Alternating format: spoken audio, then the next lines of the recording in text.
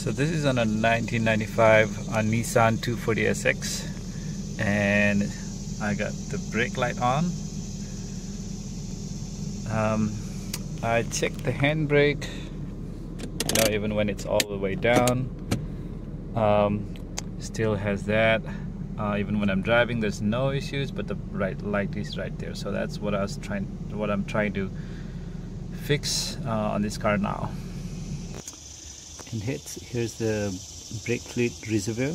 And when I look at it the fluid is quite low so it's right above minimum. And that's the maximum right there. That's the minimum below this um, seam right here. Uh, it kind of looks low. You can just see it right there. Um, I also checked the connector right here. I disconnected reconnected it. Um, nothing happened.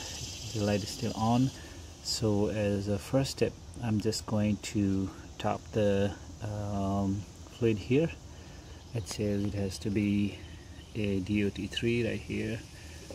Use only DOT3 uh, so that's what I'm going to top it with uh, and, and see if that um, gets the light off. So I got lucky this so I went and bought the DOT3 um, from Advance and then poured some in it. So I fill it a little less than the max.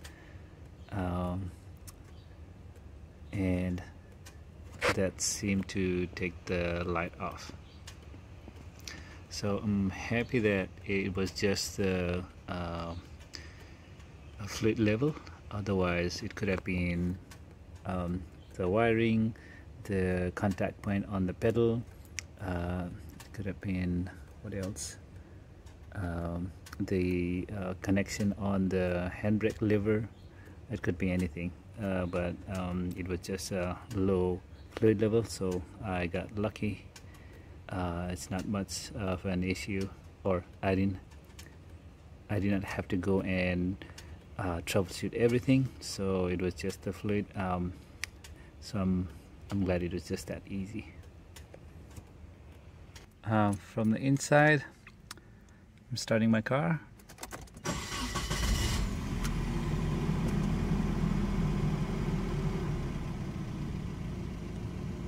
No lights. It was, it was right here. Um, now it's not there anymore so that's good